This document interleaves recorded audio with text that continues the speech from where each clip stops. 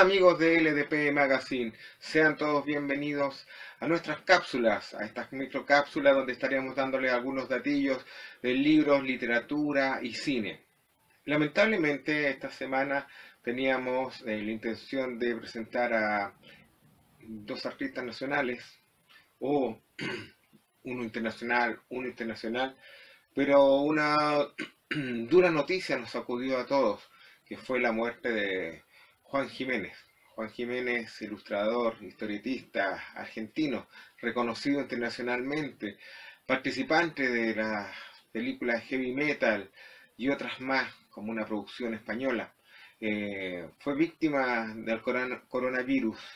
Eh, hace algunos días atrás se le había llegado desde España a su tierra, eh, Argentina, principalmente a la ciudad de Mendoza por ahí por el día 16 ya empezó a presentar algunos síntomas, 16 de marzo, para que vamos quedando más claro.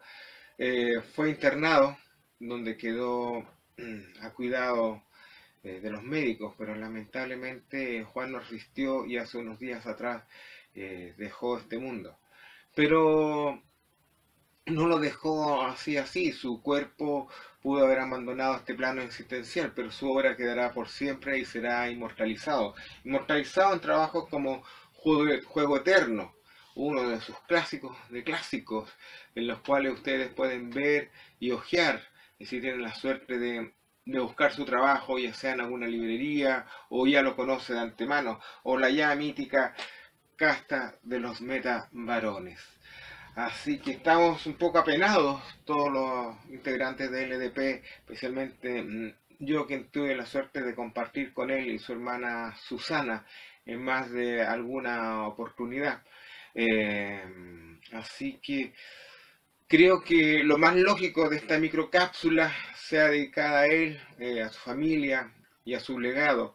Y no solo eso, esto simplemente es un aproximado de lo que vamos a ver este jueves en nuestro LDP Magazine en vivo, en cual vamos a hacer un especial donde vamos a revisar toda la obra de Juan Jiménez, desde sus primeros bocetos, de sus primeros esfuerzos como dibujante, que él mismo reconoce que era eh, un mal dibujante de figura humana, y que su eh, manera de compensar todo esto fue siendo eh, las maquinarias las maquinarias, los objetos, eh, los robots, las naves, todos los objetos que él empezó a crear, su entorno, todo lo que fue su escenografía, por donde se movían sus personajes, fueron los que le dieron el plus para que él pudiera ir saliendo adelante y empezar, en cierta manera, eh, a tapar esta deficiencia de figura humana.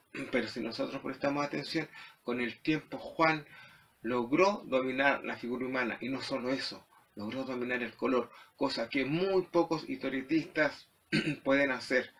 Hacer ambas cosas, entintar, dibujar, pintar. Son muy pocos, la mayoría son algunos del viejo mundo, algunos argentinos, tenemos varios chilenos entre ellos también, eh, de la vieja escuela y de la nueva escuela.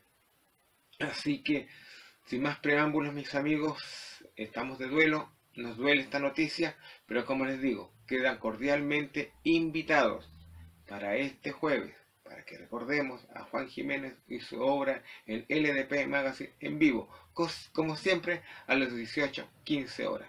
No te lo pierdas. ¿Por dónde? Por tu zona X. Los queremos. Cuídense.